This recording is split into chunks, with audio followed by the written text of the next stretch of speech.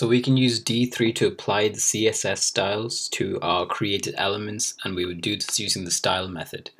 Now it takes in two arguments which is comma separated key value pair. So for example here I've created an array of items and I've bounded to create some list items right here and if we wanted to apply some style to this we would call the dot style method on this text and what we would do is we would first give the key which is a type the css type that we want to edit. So that would be color if to make it red for example.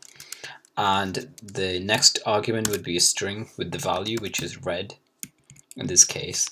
Now you can do multiple versions of this. So I could just put another style call another style method on this and I can run text transform capitalize for example, and now it's applied both styles right here. And this is the same thing in this example, it's just selects the key, which is the color and blue, so it applies color colon blue CSS property to the text.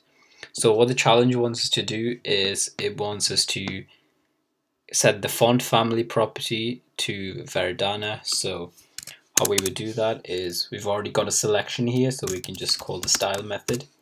We give it the key which is going to be font family.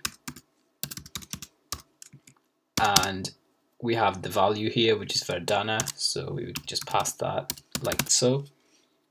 And as you can see now the font has changed and that should be all we we need for this challenge so. Excellent